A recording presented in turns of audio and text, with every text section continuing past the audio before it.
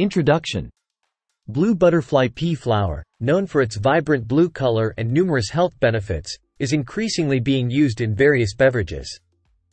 Here are the top 10 drinks infused with this magical flower. Blue butterfly pea flower tea. This is the most basic yet refreshing way to enjoy the flower.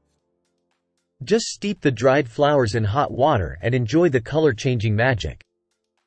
Blue butterfly pea lemonade.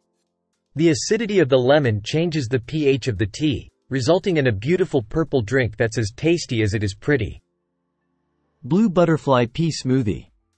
Blend the tea with your favorite fruits and a bit of yogurt to create a healthy and colorful smoothie. Blue butterfly pea flower and lychee iced tea. The sweetness of lychee perfectly complements the earthy flavor of the flower, making this iced tea a summer favorite. Blue butterfly pea flower latte. Steep the flowers in warm milk instead of water and add a bit of sweetener to create a comforting latte. Blue butterfly pea flower cocktail. Mix the tea with some gin, lemon juice, and a bit of simple syrup to create a stunning and delicious cocktail. Blue butterfly pea flower and coconut water. Mix the tea with some coconut water for a hydrating and antioxidant-rich drink. Blue butterfly pea flower popsicles. Freeze the tea in popsicle molds for a fun and refreshing summer treat. Blue butterfly pea flower and pineapple juice.